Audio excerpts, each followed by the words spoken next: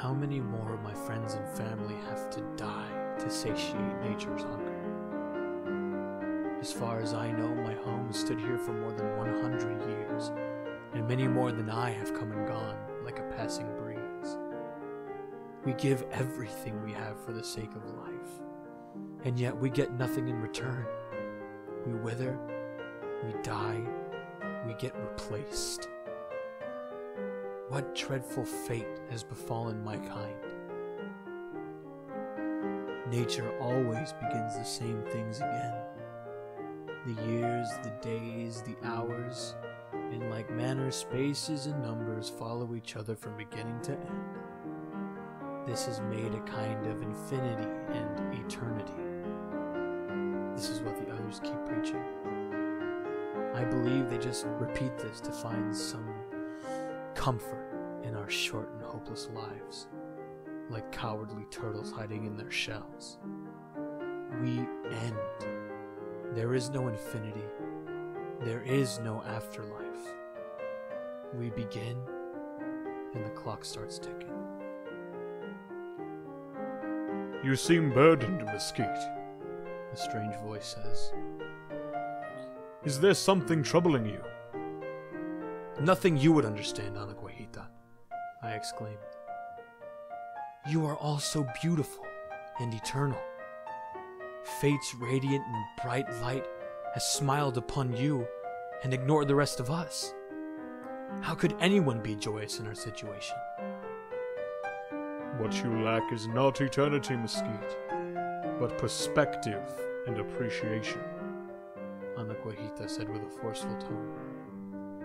My people may be eternal, but it is as much a curse as your perception of death.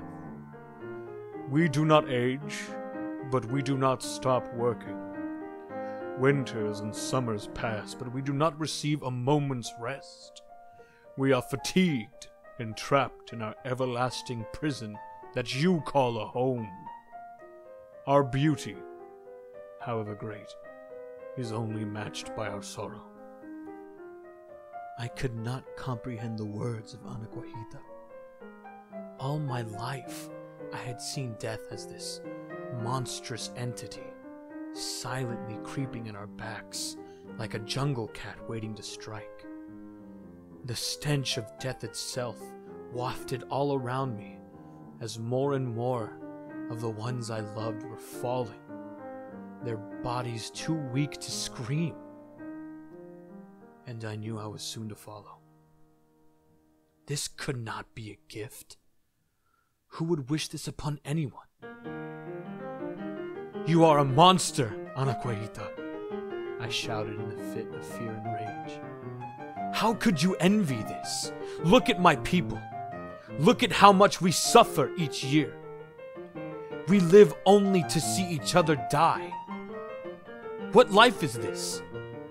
If only we could be like you, beautiful and everlasting.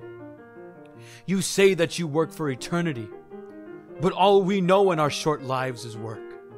We work just as hard as you, and yet we do not have any beauty. We do not have any grace. All we have is each other. And even that goes away with the impending march of time. There is no beauty in death, only despair. Discontented with your present state, for reasons which threaten your unfortunate descendants with still greater discontent, you will perhaps wish it were in your power to go back. And this feeling should be a panegyric on your first ancestors, a criticism of your contemporaries, and a terror to the unfortunates who will come after you. Anacahuita said in a stern but understanding manner. You cannot halt time, and you cannot halt existence.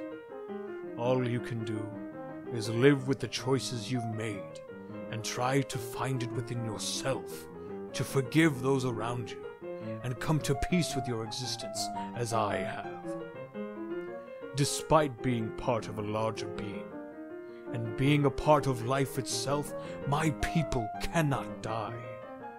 We are frozen in time like statues, watching the world go on without us. Your life is too short to be filled with hatred and malice. This is what I was attempting to convey to you, Mesquite. Because of your short life, your choices and loved ones matter so much more to you. You must live each moment like it was your last. Nature has given you the gift, not of beauty, but of meaning, which in itself is even more beautiful. You have been given life. As Anacahuita said this, his eyes started to swell with tears, and his body was shaking as he looked around his home and then at mine. He didn't look at the dead with disgust. He looked at them with love and longing, like how I imagined the sun would look down upon my people and I, giving us energy. It was then that I finally understood. Whole worldview had changed.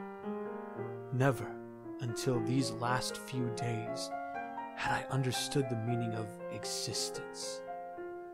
Death was not nature's unstoppable hand of destruction. It was a chance and an opportunity. An opportunity to make a difference in other people's lives and make sure that our descendants remember us for our sacrifice. I finally understood the words of my people. The strength of our virtue must not be measured by eternity or beauty, but by our ordinary lives. I hurried to everyone I had ever wronged and made amends with them. I turned to the ones I loved and embraced them for the final time. And as I saw that my time was at hand, I stood silently, looking at the sunset. I had never appreciated just how beautiful it looked. As it fell beneath the horizon and grew further and further away, I felt the winds of change against my back, carrying me to my final destination until everything faded. It was as if fate was finally smiling down on